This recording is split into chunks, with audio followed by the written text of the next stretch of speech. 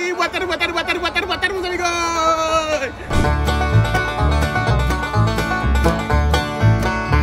Galera, tudo bom com vocês? Manda bala, agora o Gilberto vai começar a mandar bala, tá galera? Fechou? Aí vem. Eu não sabia que o drive também podia levar também os tratorzinhos. Mas geralmente eles aqui estão carregados pelos drive-ins. Estão a ver lá nesse drive aí. E o Gilbertão vai carregar também o mesmo trator, tá galera? O Gilbertão também vai carregar os mesmos tratores. Isso é o que vocês queriam ver. Isso é o que vocês queriam ver.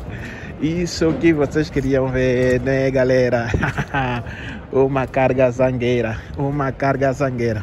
Mas eles disseram que para não colocar muita corrente nessa carga, porque eu costumo ver muitos vídeos na internet de às vezes eu próprio também, galera. Eu às vezes também dou zoada, também fico a dar risada no pessoal que coloca strap nestes tratores. Mas afinal de contas é recomendação daqui. É recomendação daqui, por quê? Porque se nós colocarmos corrente, de uma forma ou de outra forma, a corrente ela arranca com a pintura da máquina. Porque mesmo que você colocar, no mínimo você tem que colocar aqueles protetores. Mas se a corrente tocar um pouquinho na pintura, que você não dê conta, ela for balançando e riscar a máquina, eles cobram no nosso seguro. Cobram no nosso seguro, tá galera? Então por esse motivo é que eles disseram que só tem que colocar uma. Eles vão, vão me explicar onde é que eu tenho que colocar a corrente. Bobo não sou. Essa aqui é a minha carga, tá? uma autêntica confusão. Olha aí. Três tratores e dois bobcat. Um pequenininho, que é esse aqui, que a pessoa trabalha de pé, e outro grandinho, o médio, que é esse aqui. Tá, galera? Agora estamos com um pequeno problema, um pequeno problema. Questões de corrente, tá? Questões de corrente porque tem um montão de restrições que eu não posso passar corrente em muitos sítios. Essa máquina aqui eu posso passar corrente. Aqui posso passar corrente. Aqui. Mas agora, a outra máquina, no caso, essa aqui é que é o meu maior problema. Porque essa aqui também tem lugar para colocar corrente. Que aí, nesse canto aqui, nesse aqui, aqui e do outro lado também tem. Agora, essa aqui eles estão a pedir para meter só uma corrente lá. Estão a pedir para meter corrente só lá também tem que estar tá me complicar um pouco.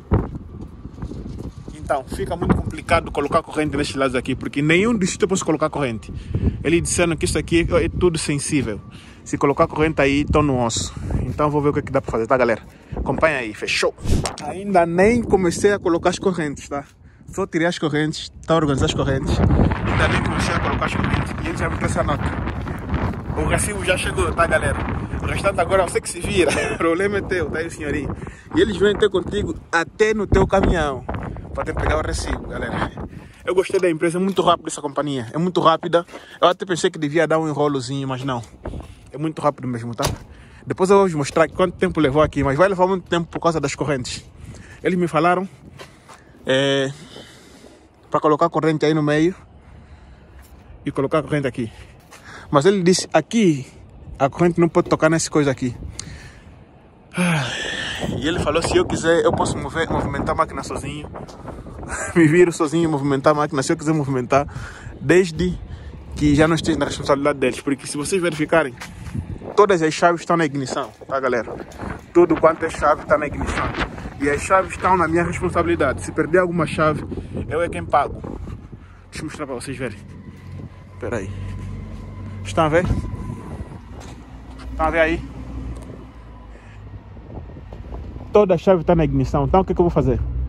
Depois de eu acabar de organizar tudo, eu vou tirar todas as chaves vou guardar lá dentro.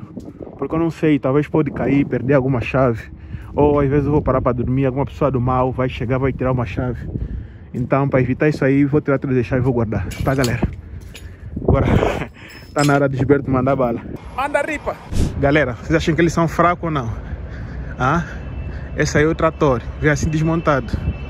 Não sei aonde que esse trator é fabricado. Essa marca aqui não sei. Tá, galera? Se vocês souberem, deixem aí no comentário de onde que isso aqui vem. Porque eu acho também que é fabricado aqui nos Estados Unidos. Acho que é importado. Ele vem assim e depois eles montam aqui. Fica assim. Ele cresce, galera. Acho que isso aqui são triciclos. Oh, sim, são diferentes. Vamos amigos, bem grande, olha aí. Bem grande essa companhia. Companhia gigante, galera, bem gigante, não é? Olha aí. Só tem máquinas em movimento. Tudo aquilo que tá vendo aí, máquina para ser carregado. Essa aqui eu coloquei dois straps, porque eu vi que ela ficou firme. Porque estavam com um montão de truque que não podia arriscar isso aqui. Olha, eu já tinha começado a colocar a, a, as correntes aqui. Só quiseram que vai arriscar isso aqui e tudo mais, epa. É complicado, galera. Nossa. Vocês estão a ver? Ele é muito frouxo, ele pode cair facilmente. E se cair, eu posso ter problema, então não quero ter problema. Tá, galera? Vou tirar mesmo todas as chaves. Vocês podem ver aí que ela fica muito bamba, olha aí. Tá a ver? Tem muita trepidação nas estradas. Então a chave cai, o problema é meu. Chego lá, não tem chave para meter a trabalhar a máquina. Vão me mandar uma fatura. Olha aí, todas eles são, são muito frouxos, olha aí. Viram? É muito frouxo. Então eles me mandar uma fatura de 4 mil dólares. Aqui nos Estados Unidos, eles gostam muito de cobrar do seguro. Eles amam cobrar do seguro. Vocês podem ver, tudo zero bala, galera. Tudo zero bala. Eu quero que eu chego lá. Eles me falam, não tem operador, tens que descarregar. Aí eu vou apertar a broker. Aí eu aperto a broker. Para quem não sabe, eu sei operar todas essas máquinas que estão aqui, tá? Não como um operador profissional, mas o básico eu sei, tá, galera? Hoje estou em vantagem. Agora vou começar minha viagem, tá, galera? Acompanhe a minha viagem. Destino, Massachusetts. Em seguida, Maine, tá, galera? Olhem quantas horas eu ficar aqui parado. 3 horas e 38 minutos, tá? Desde a hora que eu parei o caminhão, aquela hora que eu dobrei a lona, isso já foi no vídeo passado, até agora, 3 horas e 38 minutos, tá galera? Contando com correntes e tudo. Eu prefiro gastar tempo, amarrar carga, deixar tudo bem certinho, do que gastar tempo na estrada, tá galera? Agora manda bala.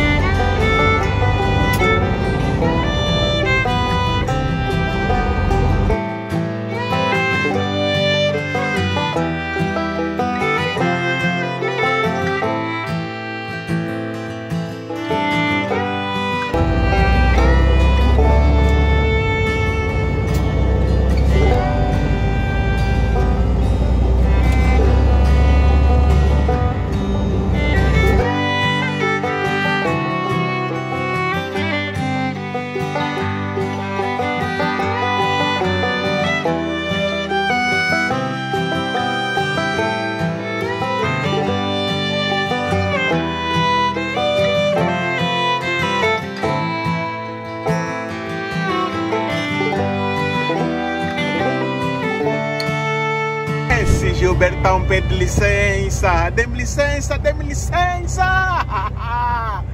Gilbertão pede licença, galera. Já comi aí uns 4 ou 5, tá? Uns 4 ou 5 já foram. Só que se eu tirar o pé do acelerador, morreu, morreu. Galera, eu tenho que manter essa rotação aí. Eu não posso tirar o pé do acelerador, tenho que manter ela aí. Se começar a cair muito, aí é que eu troco a mudança. Opa, Gilberto levou. Gilbertão levou, galera. Gilbertão levou. oi, oi. Só estou aqui a mandar bala, tá? Só estou a mandar bala. Só na expectativa, expectativa. Galera, tenho que andar até as minhas horas esgotar, tá? Assim que elas esgotarem, aí eu paro.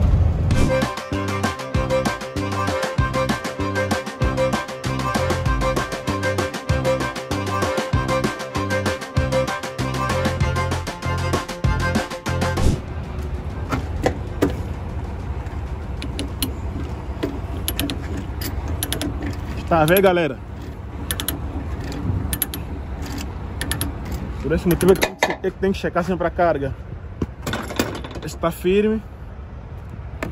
Esse aqui tá me deixando mais preocupado, mas tá firme também, tá, galera?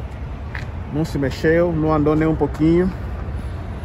Então quer dizer que tá firme. Agora esse último aqui também tá firme. Também tá firme, tá? Vocês viram aí, meus amigos? Está tudo firme. Este está firme, lá o último. Está firme. Agora, este aqui está meio folgado. Vou ter que apertar esse e o outro de frente, tá, galera? Vou ter que esticar os dois novamente.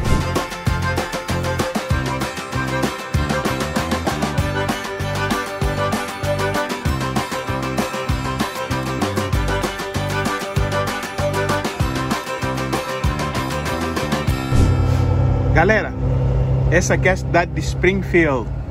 Springfield, tá vendo? Massachusetts, tá galera? É como da outra vez eu disse, algumas instituições do estado é, é, tem muito assim de concreto. Isso aqui não é concreto, são aqueles tijolinhos, né? Mas é muito mais você encontrar instituições do estado do que em particulares. Dificilmente aqui no norte você encontra casas de particular assim. É mais companhia, alguma coisa que tem a ver com o Estado ou mesmo privado, tá galera? Agora vão acompanhar minha chegada no destino. Turn left onto Fisk Avenue. Then your destination will be on the left.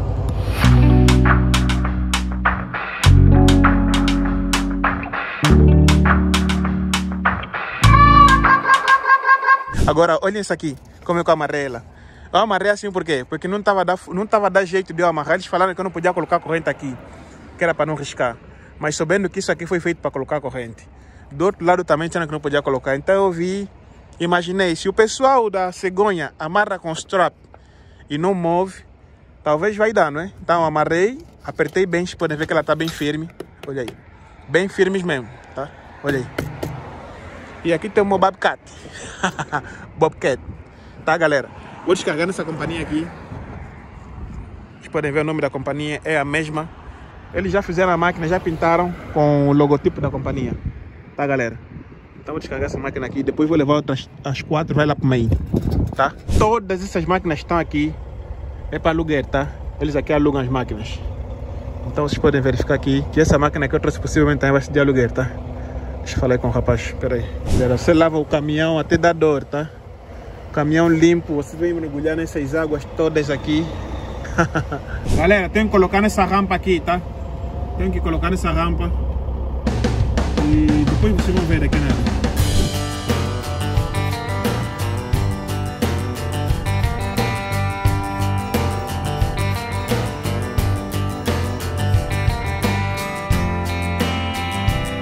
Agora eu vou arrumar minhas coisas e tem que partir para outra, tá? E essa aqui já deu tudo que tinha que dar. Eles agora vão inspecionar a máquina, verificar os números se é o mesmo, se não tem nenhum risco, se não tem nada danificado assinou a nota e partiu. Falou! Tudo pronto aqui, agora partiu casa. Partiu casa, casa. Olhem como é que é linda essa paisagem aqui. Nevou, acho que nevou ontem. Isso, acho que nevou ontem ou anteontem. Nevou acho que há um ou dois dias atrás, olha aí como é que fica lindo. a neve substitui as folhas.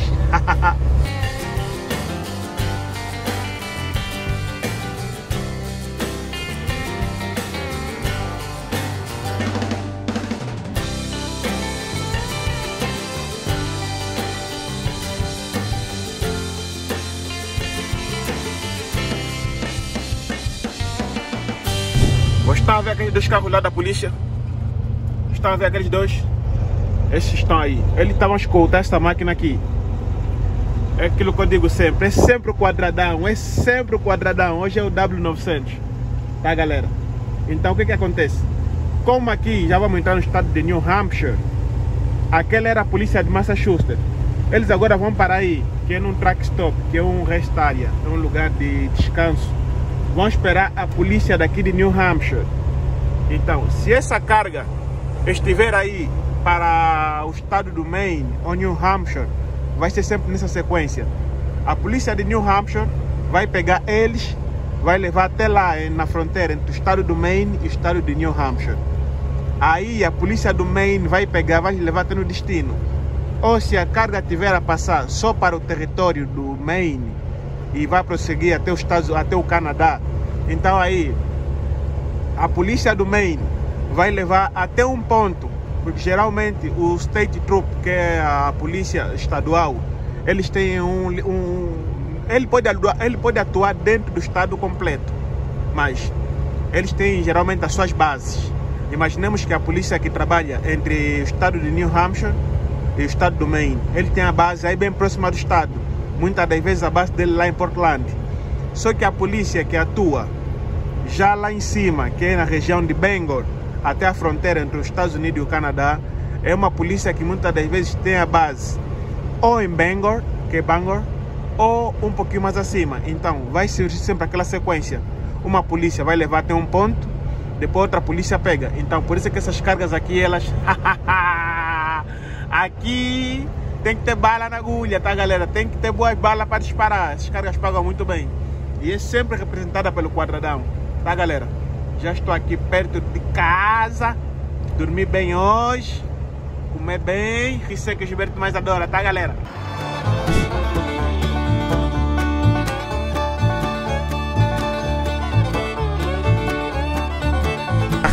Aí galera, já cheguei em casa, tá? Já tô em casa. Você se recorda dessa neve, né? Que eu falei que ela vai ser difícil de desaparecer. Olha aí. ela daqui para desaparecer só daqui a mais uns 3 meses. Daqui a mais 3 meses já vai estar limpinho aí, tá galera? Então tá a minha carguinha. Agora vou para casa, tá galera? Olha essa papa que se torna aqui. Essa é a papa que incomoda. Isso aqui suja muito o carro.